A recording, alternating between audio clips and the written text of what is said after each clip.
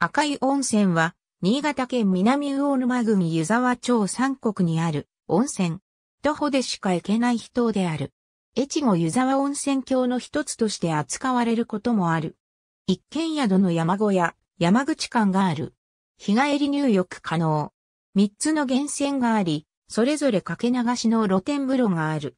この他に山口間の上流川河原を掘ると温泉が湧き出す場所があり、の湯を楽しめる。苗場山、赤倉山への登山基地となっている。自家発電装置はあるものの、ガソリンの消費を抑えるため客が多い夜以外は使用しない。通常はランプを使用する。当地では携帯電話はもちろん、谷間に位置するため衛星電話の電波も通じない。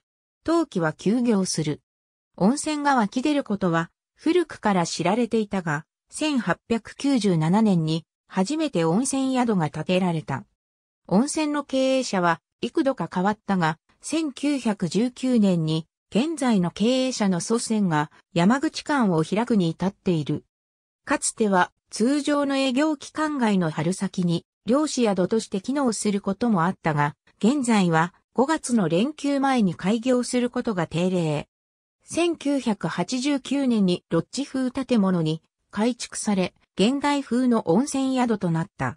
関越自動車道湯沢インターチェンジから国道17号を苗場スキー場方面へ向かう。苗場スキー場から赤湯林道を通り、終点の駐車場で駐車。